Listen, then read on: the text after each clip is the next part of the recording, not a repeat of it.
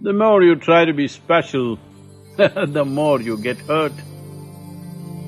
Just be, melt, become a part of the wind, the earth, and become everything as creation intends.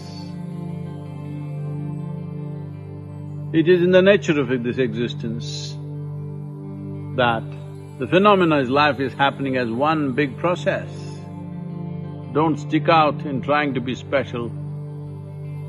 Well, no matter how special one may think they are, when they bury us, we are anyway part of this. As we breathe, we are a part of this. As we eat and drink water, we are a part of this.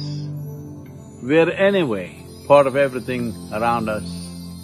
Don't try to be special and stick out. One who sticks out may get smothered.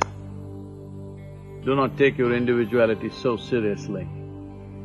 It's just a great privilege. It is the magnanimity of creation that we have an individual experience.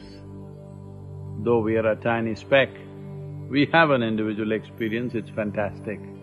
But do not take this individuality too seriously and on top of it, trying to be above other individuals by wanting to be special. No, become ordinary, consciously ordinary, so ordinary that you become extraordinary